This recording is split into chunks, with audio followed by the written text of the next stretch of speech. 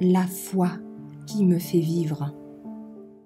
Sommes-nous en contradiction avec notre profession? Le 27 mars, la foi et l'Évangile. Toi qui te glorifies de la loi, tu déshonores Dieu en violant la loi?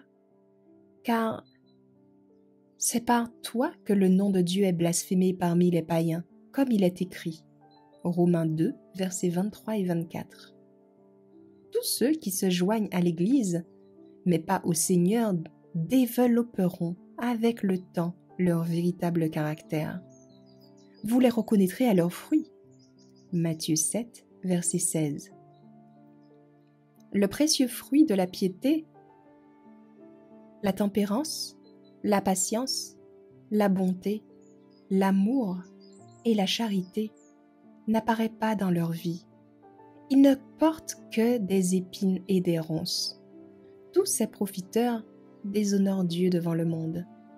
Ils sont, Satan le sait, ses meilleurs agents, tant qu'ils sont échangés dans leur cœur et leur vie.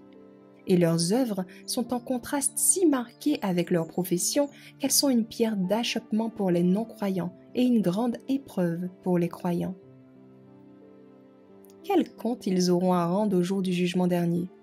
Ceux qui prétendent garder les commandements de Dieu, alors que leur vie est en contradiction avec leur profession, car ils ne portent pas de fruits précieux.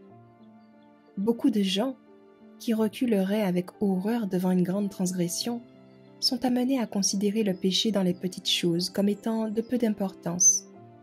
Mais ces petits péchés rongent la vie de piété dans l'âme. Les pieds qui s'engagent sur un chemin qui s'écarte du droit chemin tendent vers la grande route qui aboutit à la mort. Quand un mouvement rétrograde commence, personne ne peut dire où il peut aboutir. Un véritable disciple du Christ cherchera à imiter le modèle. Son amour conduira à une obéissance parfaite. Il s'efforcera de faire la volonté de Dieu sur la terre comme elle est au ciel.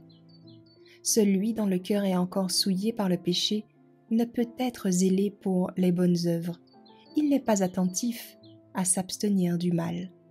Il n'est pas jaloux de sa langue indisciplinée. Il n'est pas attentif à renoncer à lui-même et à porter la croix du Christ.